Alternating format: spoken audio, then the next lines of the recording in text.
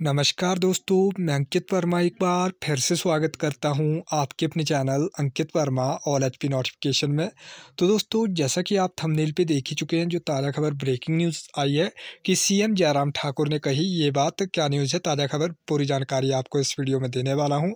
तो चलिए वीडियो को शुरू करते हैं। वीडियो शुरू करने से पहले, अगर आपने अभी तक वीडियो को शेयर नहीं किया है वीडियो को शेयर कर दें और चैनल को सब्सक्राइब करना बिल्कुल भी ना भूलें, ताकि आप तक हिमाचल प्रदेश की हर नोटिफिकेशन सबसे पहले पहुँच सके। तो चलिए दोस्तों, वीडियो को शुरू करते हैं। तो देख सकते हैं, ताज़ा खबर ब्रेकिंग न्यूज़ आई है। सीएम जयराम ठाकुर समान नागरिक संहिता अच्छा कदम प्रदेश में लागू करने का प्रयास करेंगे। तो सीएम जयराम ठाकुर जो है, आज केंद्रीय मंत्री गृह, केंद्रीय गृह मंत्री अमित शाह से मिलेंगे। उनसे राज्य के हितों से जुड़े मसले उठाएँगे। प्रदेश में पुलिस बल के जो है, सुदृढ़ीकरण और अन्य मामलों पर मदद मांग सकते हैं। तो मुख्यमंत्री जयराम ठाकुर ने सोमवार को नहीं सोमवार को जो है नई दिल्ली स्थित हिमाचल भवन में स्टेट मीडिया सेंटर का शुभ आरंभ किया। इस मौके पर मीडिया से बातचीत करते हुए उन्होंने कहा कि समान नागरिक संहिता एक अच्छा कदम है। विचार विमर्श करने के बाद प्रदेश में इसे लागू करने के प्रयास किए जाएँगे। मुख्यमंत्री जयराम ठाकुर ने अरविंद केजरी, केजरीवाल पर भी जुबानी हमला बोला।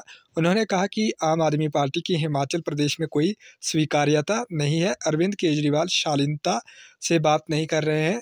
हिमाचल में बदले की भावना से काम करने की परंपरा को हमने ख़त्म किया है। आम आदमी पार्टी के पास हिमाचल में नेतृत्व के नाम पर जो है कुछ भी नहीं है। सीएम जयराम जो है आज केंद्रीय गृह मंत्री अमित शाह से मिलेंगे। उनसे राज्य के हितों से जुड़े मसले उठाएँगे।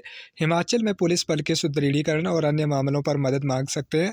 जयराम ठाकुर जो है केंद्रीय वित्त मंत्री, निर्मला सीतारमण और अन्य केंद्रीय मंत्रियों से भी भेंट कर सकते हैं। भाजपा के राष्ट्रीय अध्यक्ष जगत प्रकाश नड्डा के शिमला और कांगड़ा में हुए दो रोड शो के बाद उनका दिल्ली जाना सांगठनिक दृष्टि से भी अहम है।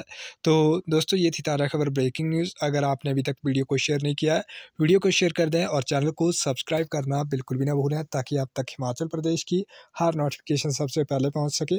धन्यवाद। जय हिंद। जय भारत।